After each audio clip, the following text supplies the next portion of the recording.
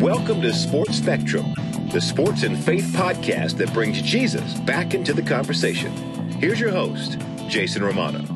This episode of Sports Spectrum's podcast with Tony Graffanino is brought to you by the International Justice Mission. We love having them as partners with us here at Sports Spectrum. They want to help end slavery in this lifetime.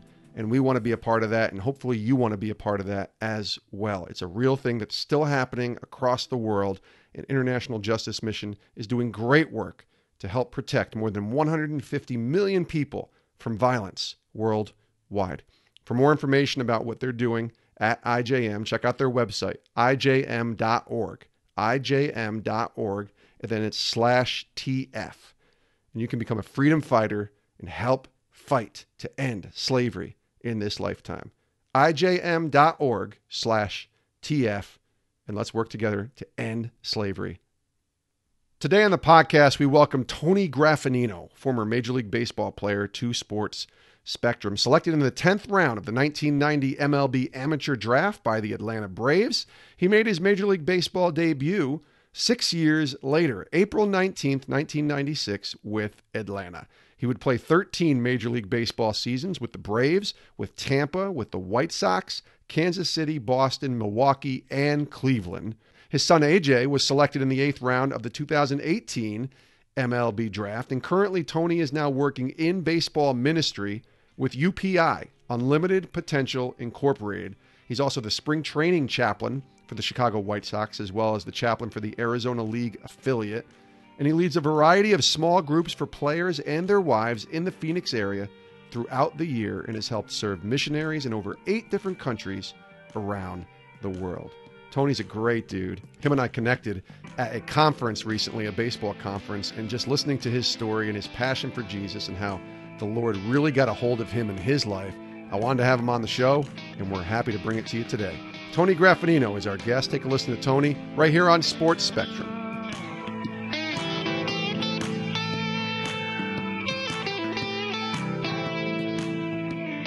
Tony Graffanino, welcome to Sports Spectrum. Well, thank you. Thanks for having me. It's good to talk to you, man. I'm glad to glad to be able to do this in person, which is always my favorite type of interview. And we're at this conference here in Florida, and you're in baseball ministry now. Um, but I really want to start kind of maybe from the from the early days of Tony Graffanino before we get to how you end up in ministry. Um, baseball, I, I, have to imagine, big part of your life growing up. Yeah. Um, you know, I, I my father uh, was a he got injured in high school. Loved the game of baseball. Um, I believe he probably would have played professionally if he didn't get hurt his arm. Uh, so he had a love for the game. Introduced it to me uh, super early, and it was one of the things that we had him and I. You know, was was playing baseball or other sports, but baseball in particular. And I just grew to love it. I just had a passion to play, and thankfully was good and and just you know baseball was there where was that for me. Who were your heroes as a kid? I, yeah, I, I said this to Darryl Strawberry. I grew up as a Yankee fan, uh, but my most of my years there, they weren't the championship winning New York Yankees. Uh, it was a lot it, of my. It was the Mets. Yeah, it was. I, it was the Don Mattingly era. Unfortunately for him, um, yeah. I jumped on the Met bandwagon in '86, no doubt. Um, but I loved uh, player. I was a I was a, a, a, Willie Randolph and Don Mattingly were probably two of my guys that yeah. I just loved. That's awesome. And did you get a chance to ever meet them or, or no spend time with them? Never. No. Wow. Well, Willie, I, I, I did interact with Willie a little bit, but never Don Mattingly. Never crossed paths. Um, mm. Yeah. Do you think you'd be fanboy, a little fanboyish with him though? I might back? be because I actually didn't realize I was a little bit with Strawberry. Um, there you go. You know, getting to meet him here, I had to go tell him that I used to self hit wiffle balls across the street and make believe I was him or Dave Winfield or Willie Randolph or yeah. uh, Wally Backman or whoever. Um, so yeah, it's it's kind of neat, I guess, to to run into uh, your childhood uh, idols, especially in this setting awesome to hear Darryl Strawberry's testimony. Yeah, and the setting that we're at is a, conference, a Christian conference for baseball players. So that leads to my question about faith with you. Growing up, where was faith? Hmm. I know you have a you have a great testimony that you're going to share, but maybe as a kid, what does church, Jesus, any of that look like to you? Yeah, I grew up in New York, uh, Northeast, Catholic Italian family. My uh, grandmother probably the uh, you know my mom's mom was the kind of the bedrock when it came to our faith. Um, she was strong, uh, loved to go to church, and I, you know, believe loved Jesus. Um, we kind of inherited that. Uh, I think a lot of our going to church was to honor her and to just, I don't know, from my mom's perspective, maybe to make her happy. My dad didn't go to church. Yeah. Um, he was a, against it, actually, pointed out different things that he disagreed with and whatnot. But me and my mom and my sister would go on a semi regular basis, um, sometimes kicking and screaming, sometimes fine, let's just do it. Um, but I can't say it was a, a, passionate pursuit of mine. I can't say I, you know, knew really knew, um, you know, the gospel, the things in the church. I mean, I'm thankful for growing up Catholic because I had a foundation. I know who God is. I knew who Jesus was. I heard about His life, His death, His resurrection. I, I, I heard about those things, but I can't say that they were personal in my life until until later on. Same here. Uh, it's funny when we were talking yesterday. Growing mm-hmm. up in upstate New York.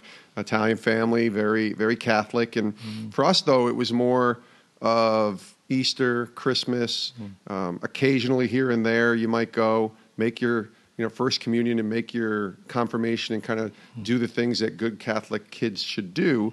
But there was no foundation in the sense for me of who Jesus was. So I went to church and I had that. Uh, my grandfather, I still, and I love my grandfather. I miss him so much today. He was faithful. He was the guy who mm. who loved Jesus but still, uh, and, and he would and he would live that out. For you, as you start to get older, when does Christ become real to you? Hmm. Because that was what happened to me. He became real to me. I thought at first it was some kind of cult or th- something right. going on with Christians and mm-hmm. didn't understand it. But there comes a time in every person's walk with, with Christ where it becomes real to you. So tell us that story. Yeah, I mean, my my my perception of Christians, uh, again, growing up in the Northeast, would have been their uh, crazy wackos, Bible nuts, Bible um, thumpers, sure.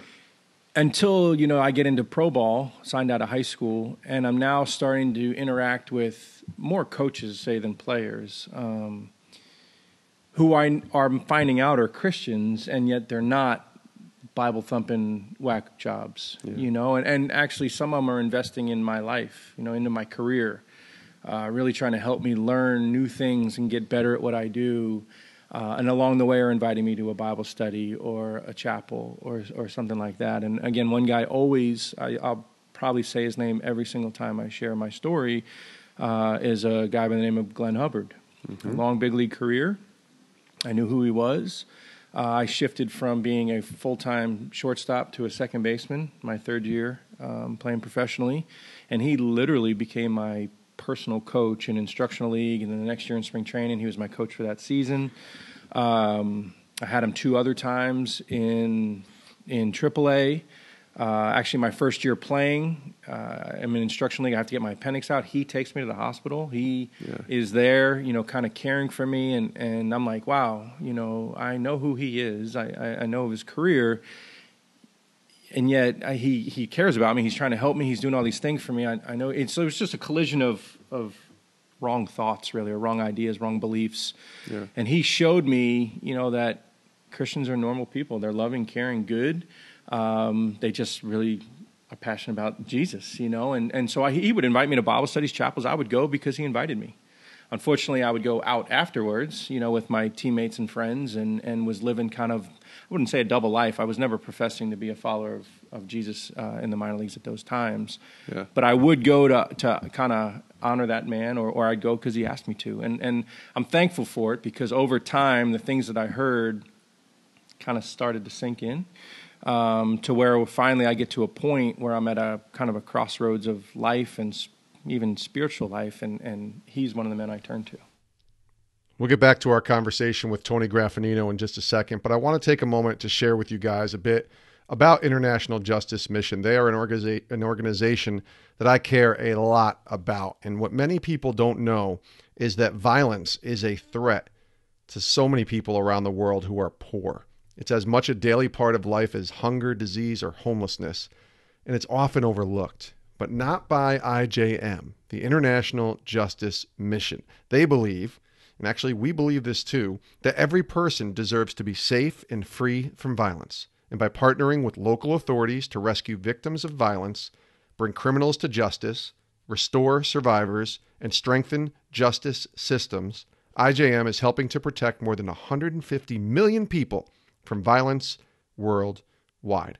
But they can't do this without our help. And that's why I'm reaching out to you to consider joining them in becoming a Freedom Partner. Freedom Partners are some of IJM's most loyal partners in the work of justice, and their support of $24 or more each month helps survivors of slavery and violence from the moment they are rescued until they are fully restored. It may not seem like a lot to give, but it is life changing. And I'd encourage you to join me in being a freedom partner today. It really does make a huge difference in the world. Go to the website ijm.org slash TF, ijm.org slash TF to become a freedom partner with IJM today. Now back to our conversation with Tony Graffanino, longtime Major League Baseball player, right here on Sports Spectrum. Yeah, it's it's funny because relationships are where it's at. You're in ministry now, mm-hmm. and uh, I'm not going to fast forward too much because I do think there's a lot more of the story to tell mm. for you. But you can see that now how important relationships are. Obviously, a relationship with Jesus, which just sounded foreign to me when I yeah. first heard it. What does a relationship with Jesus mm-hmm, mean? Mm-hmm, mm-hmm. Like, I go to church and there's believe in God, but relationship. But then you see how Jesus lived, and then you see the importance of relationships in your own life, right, Tony? Mm-hmm. And that happened for you with Glenn. Can you talk about a little bit more about the relationship aspect really being something that made sense to you? Yeah, I mean, he's a guy. There's another guy named Tom Roy. I mean, there's, you know, you hear people talk. I, I think David Platt talked about this. All these like and then coincidentally, and then coincidentally, you right. know, and you just look back and you see these different people that have been in your life, and you're like, well, that was no coincidence, yeah. you know. Um, but it took for me men or even teammates, peers, whatever, but being intentional with me and engaging in a in another level of relationship outside of just professional. You know, we were we were more than teammates, and Glenn was more than my coach. He was a man uh, who I respected, but but by his actions and his words, he, I knew he cared about me, and I knew he wanted the best for me, and I knew he was trying to bring me to a place where I wasn't. Um, that was what he believed was for my my better, my good. Um, and it, and and you know, again, when we look at I look at the life of Jesus, I'm like, he was all about relationships, you know, with his disciples or even other people.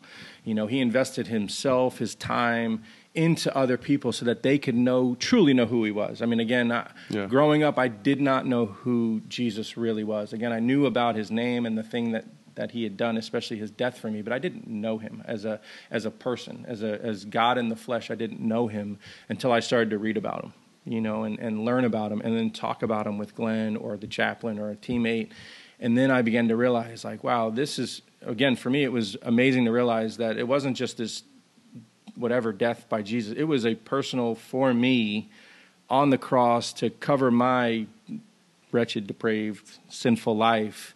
Um, he, that was a he literally did that for me. Yeah. You know, if I'm the only man alive, he comes and dies for me. If I'm the only man alive, he has to come and die because I need that so desperately. But he did that for me, and I can actually know who he is. You know, I can I can read about him. I can have conversation with him. I can even model my life um, to be like his. And so, the people that God put in my life were were game changers, absolute game changers. Was there a moment though where it clicked and you can remember it? Yeah, so I guess a little bit more of my my story. You know, I, I sign out of high school. I'm advancing through the minor leagues, basically one level a year. Some injuries here and there, but still moving, um, doing the chapel thing, trying to earn God's favor, so I play better and move up and and that game. Um, but again, specific people in my life that are pouring in and trying to influence me, and and I end up getting to the big leagues um, just for a call up, a couple of weeks, and it I'll uh, it, it was amazing it's a, the realization of a dream, you yeah. know, and and that was just, Atlanta, right? Yeah, yeah, just in awe of like, wow, like I'm here, I did it. Like I know I'm not at the finish line, but like I I'm I'm here, you know, and and yeah. it was absolutely incredible. But it only lasted a, a couple of weeks and sent down, and then there's this strong, strong desire, like I gotta get back there, you know. And I don't know if it was three or so weeks later, but I I do get back, and I, I can't explain how or why, but it, the feeling was so different. Um, I wasn't amazed. I wasn't in awe. I wasn't like, oh my gosh, I did it because that had already happened. Yeah. Now I'm there, and it's like, okay, so now what? You know, what if this isn't just completely soul satisfying? If, you know, if everything isn't just you know roses and whatever, then what really is going to fulfill me and satisfy my life? I mean, I could strive and push and press and become an all star and win a World Series and all those other things, but I think God opened my eyes to be able to see the emptiness in even those things, you know, and then my eyes are open to what's going on in the lives of teammates, you know, and you know, again, professional sports is a is a is a rough environment, and there's issues that are not uncommon to any other you know people group but there's alcohol and there's drugs and there's infidelity and there's all these other things. I'm being confronted with my own sinfulness and and so many things are crashing together. And yet at the same time there's this god-given desire to to read his word. Again growing up it wasn't i wasn't told to read the bible. It wasn't something that was encouraged. I, I didn't even think about it.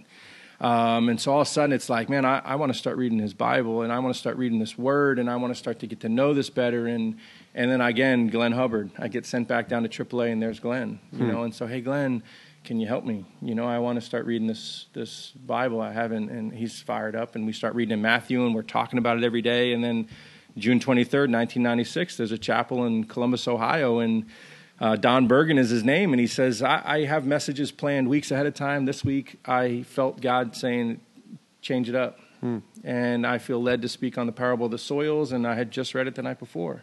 Mm-hmm. And so coincidentally, right? Um, yeah. I'm thinking coincidentally, wow, that's crazy. Glenn and I haven't even talked about this, and he breaks it down, and I start to realize like, I don't know the Lord. I don't know Him, and He gives the opportunity to know Him and to become a follower. And I pray, and at the time had no idea what that even meant. Uh, even my wife was like, "What does that mean?" When I came home from the road trip and told her, and she's like, "Are you a born again Christian?" I said, "I have no idea. I have no idea." You know, she's like, well, that doesn't mean you're going to be talking to people about Jesus and stuff. Or I said, no chance. um, and I laugh too because that's what I do for a living now. Right. You know, I get up in front of people or I meet with people one on one and I talk to them about Jesus. Yeah. You know, so uh, yeah, it's amazing the way he works and and uh, you know, sometimes I look back at my life and the things that I did, the choices I made, and I'm like, gosh, man, I wish I would have known better. I wish I would have done different. I wish I would have. But I also look at it and I go, you know what? Those are the very things that led me to the foot of the cross that brought me to this yeah. place of surrender where I turned my life over to Jesus. Well, they don't define, I like to say, they don't define you, they refine you, right? Yeah. And those moments that you went through had to refine you into the person you are today. You mentioned your wife, mm. uh, Tony Graffanino, is our guest here on Sports Spectrum. You and I were talking at breakfast yesterday about our wives. Both of us came to Christ, and our wives were not Christians when that happened. And I remember my wife specifically saying to me, "Why are you coming to, to Christ? You don't need that. Mm. Our lives aren't in." In this crazy, awful place. Like, why are you coming to Christ? And it took her three, four years to really um, see it become real in my life, and then other people put into her life to then come to to know the Lord about four or five years after I did. Hmm. Similar situation for you, right? Yeah, it was uh, three years for for my wife, and yeah. you know I praise God every day because He gave me uh, He gave me grace, and He took away, at least in this area, a competitive spirit. Um, when my wife would ask questions or we would go to church and you know hear the message or whatever it would be it wasn't me trying to prove my new faith right. It was just a dialogue that we were having. You know what do you think about you know um, you know the priest's message today or what do you think about this or you know whatever it was and we would just communicate over it. You know well what's the deal with infant baptism and how come this? And so we were just having this really healthy dialogue i think but it still took her three years. I mean she had some of the baggage to work through as well, you know. And and um, but again, I, I, think she saw a change in me.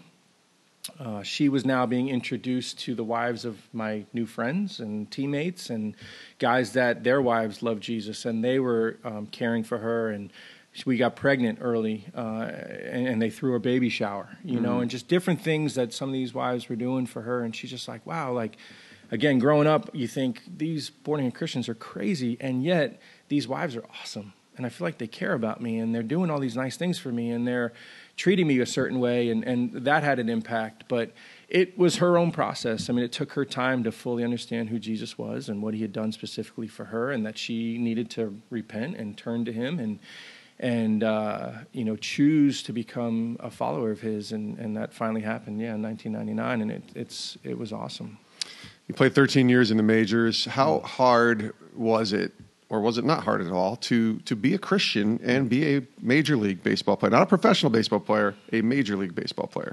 Yeah, I mean, it was.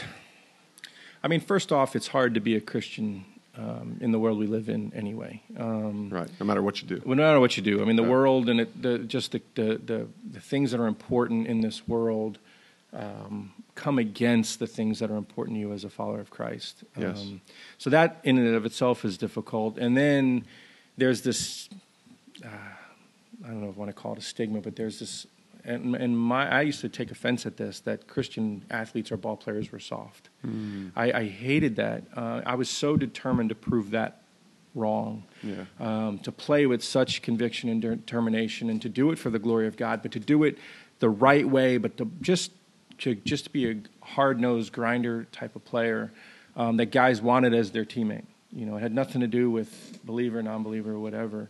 Um, but again, you know, I, I, I, didn't share this yet, but I grew up in, in with this belief uh, as a man that you you need to be strong and not weak. Um, you need to be good at sports or basically dominate whatever it is that you set out to do. Yeah. And then the other part of it is, is men, real men, they sleep with women. They yeah. get women, and that is so. That's so prevalent in sports. Yeah. I mean, it is unfortunately, yeah. it is so real, and and uh, and so then you become a believer, and you're not doing all those things, and you're the minority on the team that's not doing. Not to say that every guy does those things, but of course. But you are in a in a small category, and it's can be lonely. I've been on teams where I was the only only believer. Mm. It was a struggle to get another guy to go to chapel with me. But I've also been on teams where there was five other guys, mm. and we would hang out together and and you know go to dinner and movies and and you know do whatever together. So. Um, it, it, it can be tough, uh, but it also, depending on the situation you're in, it, it can be not as tough. Yeah. I'll say that. How was your transition out of the game? It's always difficult for a lot of guys. They always say the game retires you. You don't retire from the game. Mm-hmm. Uh, I hear that a lot in football. I even hear, hear it a lot with baseball. How was that transition out of the game for you? Yeah, I thought I was ready. Um, I thought I was rooted in Christ. Like I know who I am. My identity is strong. Yeah. Uh, and then you realize I did um, maybe a month into the off season when I should have started to train and wasn't. Like, man, well, what what am I going to do with myself? You know, and and then you start to realize, like, even though I've always said to people, baseball's what I do, it's not who I am. It absolutely was who I was. I was a baseball player yeah. since since I was in diapers. Yeah. I was a baseball player. Um, it is a, a, a, a portion of my identity, and I was confused and I went through a little mini, I don't know, maybe it lasted less than a month, but a little depression. Like I, I really was, I didn't know where, which direction I was going to go in. And, um, you know, thankfully, uh, the, the ministry that I work for, Unlimited Potential Incorporated, um, I had uh, exposure to this ministry. Uh, some of the guys on staff were chaplains that I had, one in Atlanta, one in Chicago. I was friends with another one that was in Arizona and um, I just started to attach myself to them, and, and I did a trip with them and went to a retreat, and I started to realize, like, wait a second, you know, and I think God loudly spoke um, to me in this area where he said, you know, like they were looking to hire on some new people, and I heard, I really felt like I heard him say, or at least in my head anyway, um, they're yeah. looking for someone like you, like. And I, you know, again, as as I started to do more things with them, I was like, this is the probably the best of of what I can look for because I'm still in the game. I have an opportunity to mentor, disciple, care for players, especially young guys. And that was something I was doing towards the end of my career. Uh, anyway, and yet I get to also travel. I get to to preach the gospel. I get to do all these things, and um, so I I think it was a little over a year from when I stopped playing, or actually two years because I stopped playing in 09, um, and then I didn't come on staff until July, July of uh, 2011. Uh, but that transition was tough. Tony Graffanino, thank you for being here on the show. Last question. Um, we asked this to all of our guests here on Sports Spectrum as the final question. For you, what are you learning from God today? What's Oof. He teaching you right now in the season of life that He has you in? What are you learning from the Lord? Uh, yeah, that's a great question. Uh, and I feel like it's a question I need to ask myself more often. You yeah. know, you come to a conference like this and you, it's like the megaphone If you can't hear what God is saying in a place like this, um, you got to clean out your ears, right? Yeah. And I feel like the message has been pushed and and and really told to us well. We are who we are. We are where we are for a reason, for a purpose. Um, God wants to uniquely use each person, myself included, um, to grow and expand His kingdom and for His glory. Um, the need is urgent. Um, the time is short and people need to know who Jesus is. Again, it's the it's the great news, and and we have this. We've been given this treasure, this gift of understanding and knowing what the gospel is. And it's not a gift or a treasure that we're supposed to hold on to and, and keep to ourselves. It's one that God has says, I give this to you so that you can give it to others. Um, and so that's what you know, again, I, I get paid to do these things, and yet I'm still feeling convicted that I, I need to do more. You know, uh, yeah. as in ministry, and you may agree with this, but you have a tendency to punch a, a, a time clock. Oh you yeah, well, out. Jesus can become. We think that our work is our relationship with God, mm-hmm. and we're pouring in and pouring in and doing all these things, and yet we can completely forget the whole yep. connection with yep. the Lord, right? Yeah. So you punch a clock, and then you're off duty, kind yeah. of, and you're like, well, wait a second. You know, even for me, I, I go ministry, and then I come home. It's like, well, well, my family should be my first and foremost. They're the priority in my ministry. And then I'm surrounded by neighbors. You know, they should be a, a priority focus. And then, yes, I have these places that I go to, but eh, I'm being convicted that you're never off duty. Yeah. You know, you don't punch the clock when you're living a life for the Lord. You're you always on mission. You're always on mission. And so what does that look like in the different arenas that, that you're in? And so that's what I'm hearing. That's a good lesson. Tony Graffanino, 13 years in the major leagues and now doing great work with Unlimited Potential Incorporated, UPI, ministering uh, the gospel to others. Thanks, Tony. Appreciate yeah. you being on the show. Yeah, thank you very much. Thanks for having me. Great stuff there from Tony Graffanino, 13 year Major League Baseball veteran, joining us here on Sports Spectrum, sharing his story of sports and faith in Jesus. And certainly for many years, playing the game of baseball professionally, now serving the baseball community in ministry with UPI, Unlimited Potential Incorporated. And you can read about UPI if you just Google them. They have a great ministry and they serve in a wonderful way the world of baseball by ministering the gospel of Jesus Christ. So many thanks to Tony for joining us here at Sports Spectrum, and many thanks to you for listening. We really do appreciate you checking us out. There's a bunch of ways that you can stay in contact with us. The first is to simply go to our social media pages Twitter, Instagram, and Facebook. You can like us and follow us and see all the great things that are happening from our Sports Spectrum content on our social media pages and, and hit us up. Let us know that you heard this podcast by tweeting it out or posting it on Facebook and tagging us, and we'll make sure that we like it and comment and share and all that good stuff on social media. And the second way is to go to our website, sportsspectrum.com. That's the home base for all of our content at Sports Spectrum articles, daily devotionals, every single podcast, all there at sportsspectrum.com. And lastly, just want to encourage you to subscribe to our magazine. It's $18 for an entire year subscription. Super cheap. You can go to sportsspectrum.com to subscribe or give us a call toll free 866 821 2971. 866 821 2971 and subscribe to Sports Spectrum's magazine today.